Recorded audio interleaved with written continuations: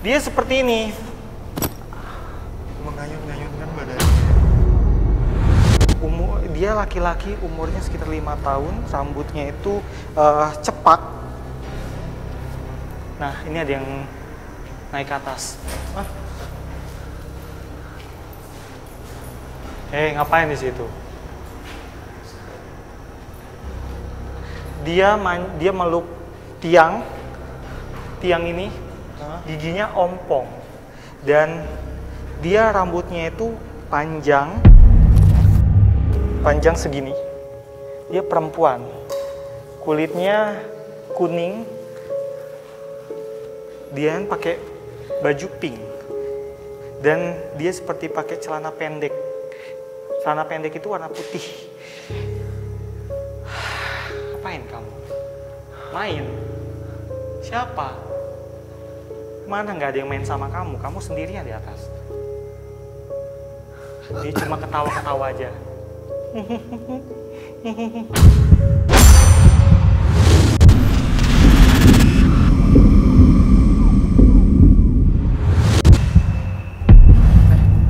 Barusan ada yang lewat lari. Dia lari ke sana. Tadi ada dua yang melintas di dekat saya.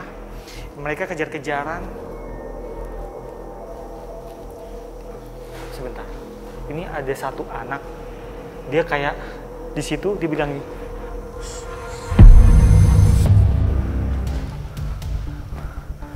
apa? Ada sesuatu?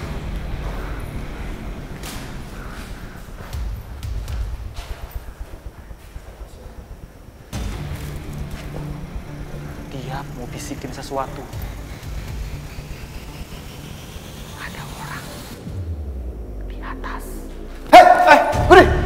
Kenapa? Eh, kan anda, pelan-pelan kan anda. Aduh. Allah Muslim Muhammad, Allah Muslim Muhammad. Awas Eh, hati-hati eh. ya, hati-hati tim, Eh, hati-hati. Ayo, ayo naik, naik. Bantu saya, bantu saya. Budi, bantu saya. Pas kamu, pas anak kecil itu ngomong ada sosok anak. Itu dia. Apa itu? Allah Muslim Muhammad, Muslim Muhammad. Itu yang tadi dibilang anak itu. Hei, Eh, Bau sekali.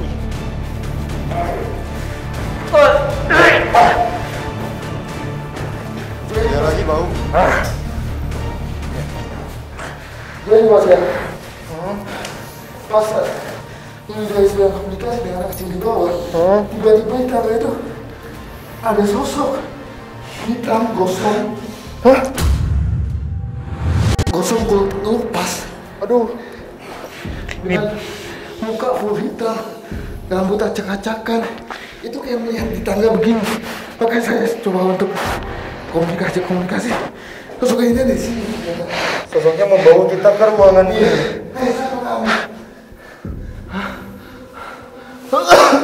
Aduh, bau banget. Wah, bau banget. Bagus sekali. Kenapa kamu begini?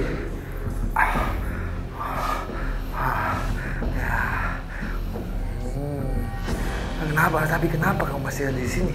Hah?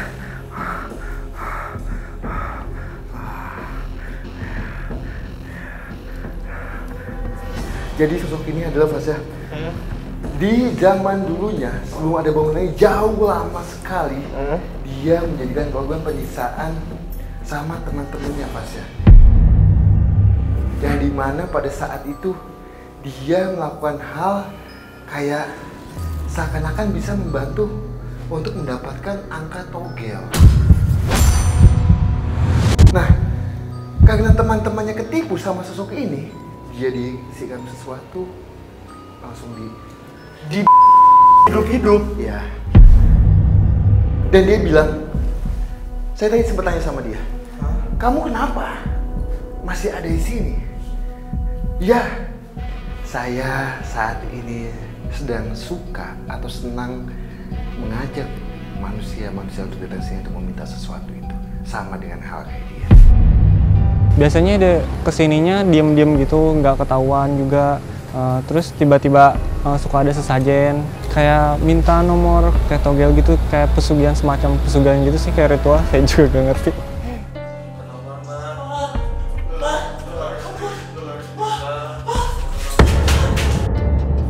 memanipulasi banyak orang untuk datang ke tempat ini dan melakukan hal-hal negatif serta meminta-minta hal yang negatif Ya. di tempat ini. Dengan angka, dengan angka-angka itu. Iya, benar. Ya, Dan saya juga bisa ngerasain di sini tuh ada lalu lalang manusia. Pertanyaannya, ngapain manusia di sini? betul. Eh, Betul. Jadi emang jin itu, jin itu goib itu gampang untuk uh, mengelabui atau memasukkan Manipulasi ya. manipulasi mindset kita atau membisikkan kita bahwa ada sesuatu tempat yang di mana tempat itu bisa membawa keberuntungan atau memberikan sesuatu mungkin ya Kananda. Oke, tapi apa alasan dia Kananda melakukan atau memanipulasi banyak orang untuk datang ke tempat ini? alasan kamu apa?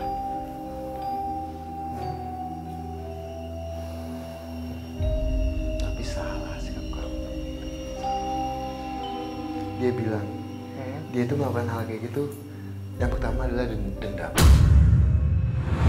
Dia ingin melakukan hal yang sama yang di mana pada saat di kehidupannya dia disiksa sama teman-temannya. Apalagi satu hal saya ingin tanya sama kamu.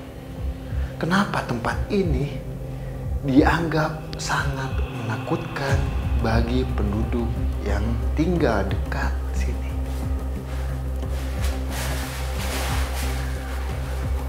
Bukan kamu. Bukan kamu, tapi siapa? Di sebelah mana? Hah? Samping tembok ini. Sebentar, coba. Coba dengar di belakang itu tadi saya dengar seperti Iya. ada aktivitas di Samping- balik tembok ini. Iya, balik. Kita kan di sini nggak ada yang di sana ya. Betul. Semua ada di sini. Jadi kayaknya itu sosok yang Iya. yang kuat.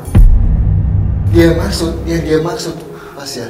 Yusuf ini kasih tahu bahwa di balik tembok ini yang membuat tempatnya seakan-akan menakutkan. Terkesan tempat yang mengingat ya. di mana? Sana.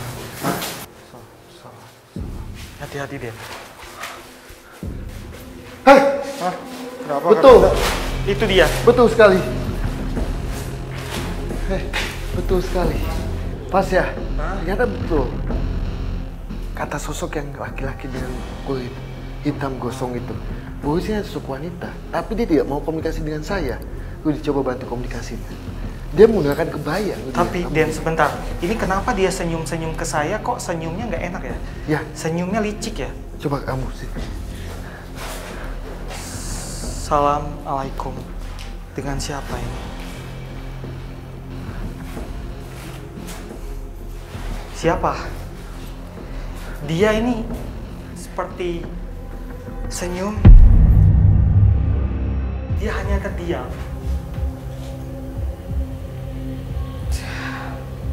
Apa ini? Dia memegang tangan saya.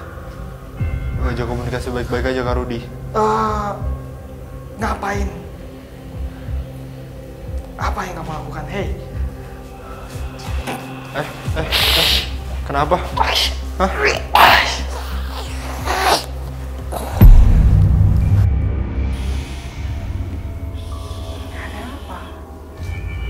Siapa ini? Halo. Siapa ini?